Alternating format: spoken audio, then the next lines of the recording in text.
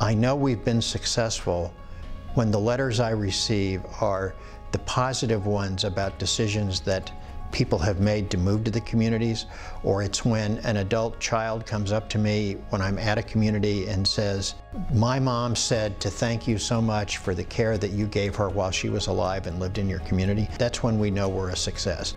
To me, the success more than anything is just simply on the relationship side, and one practical metric would be how much new residents are you getting through the referrals of existing residents when you take on an affiliation? But to get the satisfaction of the residents, in order to actually accomplish that, you have to put together a team of passionate, qualified, knowledgeable people that can be a part of your future.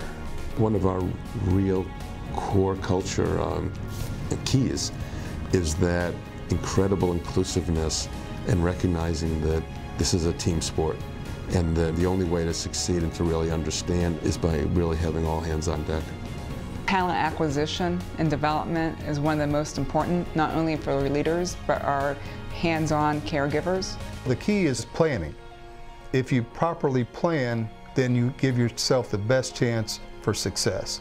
Otherwise, you're just planning to fail, and that's not an option. Defining success is an interesting question in the not-for-profit world because I think for many of us we look at, at scores that are not terribly meaningful. So we will have a dashboard that is in some respects uh, more like what you would see in a for-profit organization with uh, growth and, and financial metrics, but we're also going to see mission-related metrics of, of, growing the size of our business uh, that we know that the for-profits won't and, and can't really touch. It's overall helpful um, to have um, bondholders and investors and um, bank covenants because they are they are measures of success, and everybody knows what they are.